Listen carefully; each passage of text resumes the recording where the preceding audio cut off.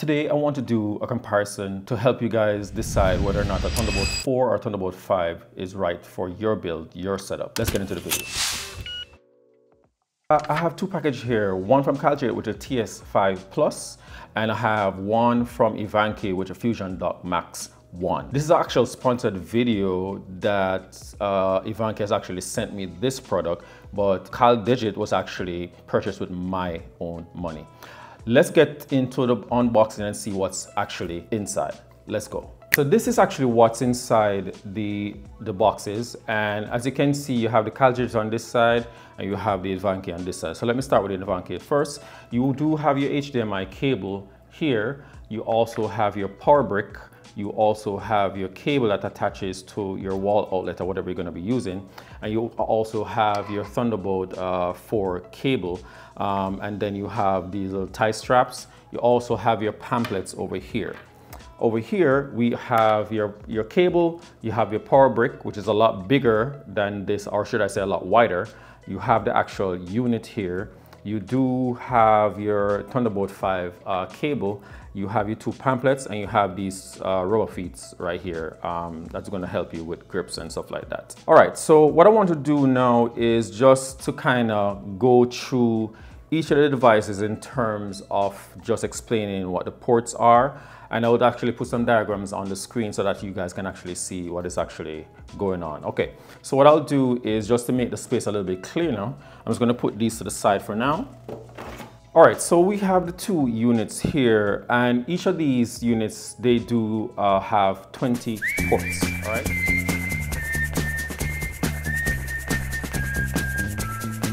Why am I doing this comparison? So I'm trying to see, or rather try to help anyone to decide whether or not they would like to go for the CalDigit, which is a Thunderbolt 5, which is very brand new, because these are very hard to get right now, guys. It took me a while to actually get my hands on this, and I finally got it, because I was waiting so I can do this comparison for you guys.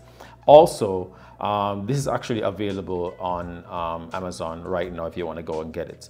Um, so what I'll do is I definitely want to do a speed test for each of these guys and then actually you know help you guys to decide and see whether or not you want to choose going with the Thunderbolt 4 versus going with the Thunderbolt 5 and the price difference might be a factor for a lot of you guys out there that might help you to determine whether or not you want to get this or not. I'll put the price on the screen over here for each of these so you guys can actually see. And then you can you know make your choice from there. But you know I think these are two wonderful um, units to have and they will definitely provide enough output for you because as you know with Mac you don't get a lot of um, uh, ports on your Mac and this is definitely going to help you for persons who want to either do a multiple multiple monitor setup or you want to have different attachments like uh, external hard drives and other devices to be connected. You can actually use a lot of these ports as well to charge either your laptop, your cell phone, so forth and so on. So you're, you're going to be pretty much covered um, with these two devices. So what I want to do now guys is I want to move from here and head over to my desktop let's get into it. All right, so here I am back at my desk, guys. And so uh, I have the two units here.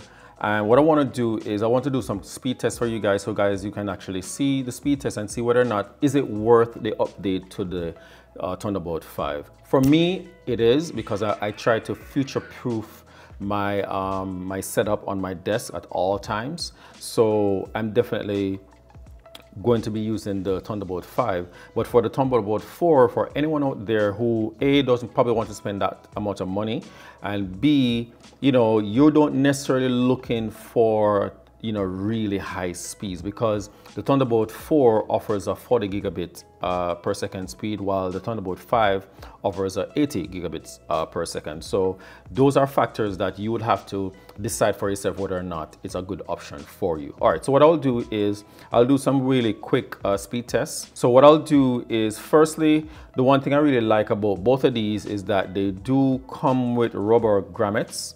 As you can see here, right? Um, they do come with some rubber grommets that you can actually use to help you to kind of stationize your, your device, whether you're gonna be having it on your desk, you know, so what, I, what I'm gonna actually show you is one, I'll show you the CalDigit and let me just, uh, so you have these grooves right here And with this grommet, so I'm gonna take these off. With these little legs right here, you literally, all you do is within each of these grooves, you can actually just slide it in and put it like that. Both on this side, and if you wanted to actually stand up, you can do it in the grooves on this side right here. So those are a really good thing for you to have. The only thing I would say differently with the iVANKY is that these you have to actually paste it onto it and I really don't like that. Um, I wish there was an option for me to take off, remove whenever I need to. So in other words, when you put this on, it is always going to be there and I really don't like that. All right, so let's just move on because this is just me nitpicking on something. So what I'll do now is uh, first I'll just start with the speed test for the iVANKY and then I'll go from there. So what I'll do is I'll use my trusty SD from um, SanDisk and this is like I said I want my this is my one terabyte uh, let me see was it one, two terabytes all right so first let me just connect it and then I'm going to just show you guys the speeds and see what it's like all right, so I'm just gonna plug it in. All right, so what we'll do is I'm just testing the front pros of the, the 10 gig. So here we have my setup right here now, guys. So I have a folder here that I'm just gonna show you the info inside. These are, this is a 39.91 gigabytes of file size. I'm gonna transfer this to the uh, connection on the iVANKY, which we have actually set up. I have a little timer here and I also have a little thing here that is gonna show you the actual speed of it going through. So what I'll do, I'm just gonna drag and drop. Let me just do a copy instead of a drag and drop. So just do copy, paste, and let's start. So if we go to disk, we can actually see what is actually happening here. And it's doing a read of about uh, 500 megabits per second and a write up, I'm pretty much about the same.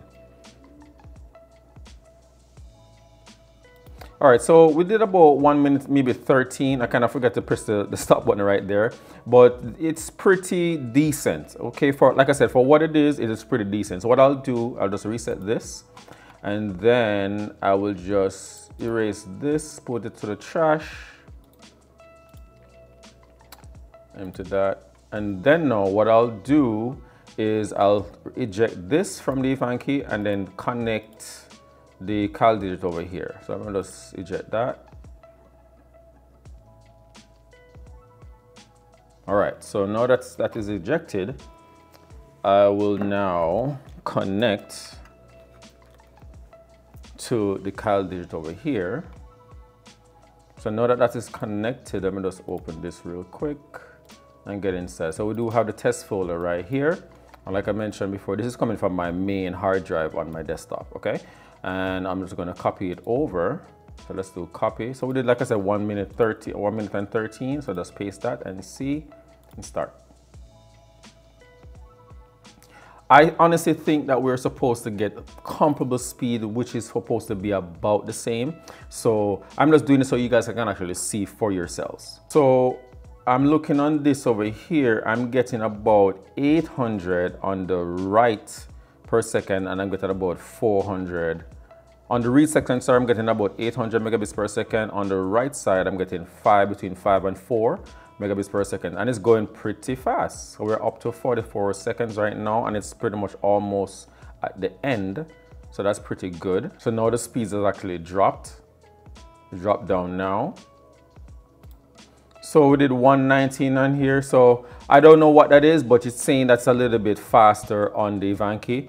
Let me know if I'm um, I'm incorrect on the in the comment section below. So what we're gonna do now is I'm gonna connect a Thunderbolt 5, so at least we can see what the Thunderbolt 5 speeds are. I do have a cable here, so I'm just gonna connect it to the, the iVANKY and then uh, we're gonna do some speed tests with that and see how that goes. All right, so let me just disconnect this. All right, so I'm, I do not have a Thunderbolt 4 cable, guys, so I plugged in my Thunderbolt 5 uh, cable into it because it actually is backwards compatible. So you can use either Thunderbolt 3, you can connect to a Thunderbolt 3 or Thunderbolt 4 uh, device and it still works optimally. All right, so what I'm gonna do is I'm just gonna open this folder here and all I'm gonna do is I'm just going to transfer this same folder over. Let me just do a copy. Let's reset that timer. So now I'm transferring from the main hard drive, which is on the Mac Studio, to the Thunderbolt, um, this new drive over here. So all I'm gonna do is say copy, paste, and then restart.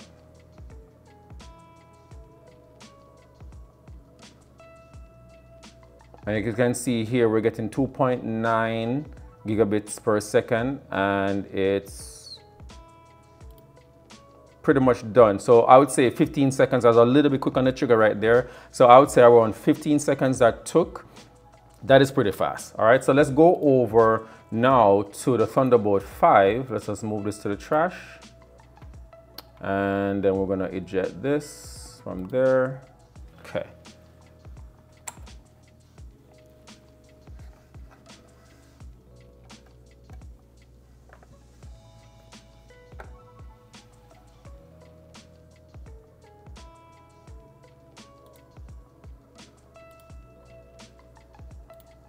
So now we are connected to the cal CalDigit, all right?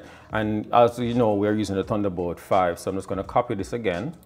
Say copy. Let's reset this. I'm gonna say paste and start. So now we're getting in the four regions now. And we're done. So that I think that was done about eight seconds. So you can see that it's pretty fast, but is it extremely faster than the iVANKY? No. So this is one of the things I was actually saying to you guys that the speeds, yes, is definitely going to be faster, but is it going to be extremely faster than the Thunderbolt 4? And my answer to that is no. So do you necessarily have to spend that big money in order to get the CalDigit? You do not have to. If you're someone that is not transferring a lot of large files, I think the iVANKY is a perfect choice. If you're someone who does do a lot of large files and stuff like that, then, then definitely you're gonna want the CalDigit. And also if you do have a newer unit, if you purchase the Mac Mini or the Mac Studio, or the Mac Ultra, those have the Thunderbolt 5 ports and definitely will make use of that. So I would suggest if you're in one of those person in that category, then yes, you can definitely jump and go for the CalDigit. But I will definitely say if you're someone that you're not and you're just a, maybe a relatively casual user, but you just want more ports for yourself, I would definitely say go with the iVANKY and you will not lose out on anything much. And the prices are pretty significant between either of them. I think one of them is between uh, five and the other one is about two, maybe almost $300. So you're going to be saving around $200 difference there. So I think if you really want to save some money and not spend too much, go for the iVANKY. If you want to, actually, if you don't really care too much about the money side of things, then go for the CalDigit. But that is really my feedback, guys, as to how I think this thing will be beneficial to anyone out there who is a content creator, videographer, photographer, whatever it is. Um, I think either these units would be perfect for you, but it's a case by case basis whether or not your needs is for a Thunderbolt 5 or your needs are going for more of the Thunderbolt 4. Both units I think are fantastic. The build quality on each of them is pretty good and you cannot go wrong with either choice guys. Whether you go with the CalDigit or the iVANKY, I think you're not going to go wrong guys. So that has been my quick comparison for you guys to give you a, an, an, idea or an option for yourself to say, hey, do I need to get the iVANKY or do I need to get the CalDigit TS, um, TS5?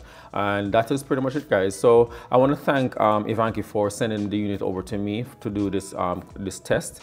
And I think, you know, they really have a really fantastic unit. And I'm sure whenever they decide to go to Thunderbolt 5, it's going to be really good as well. All right, guys, so I just want to say thank you for taking the time out to just watch this uh, quick video over here. And if you guys have enjoyed this video, smash that like button. If you guys are new to the channel, subscribe for more. And I think this video over here will be something interesting to you. Catch you guys in the next one.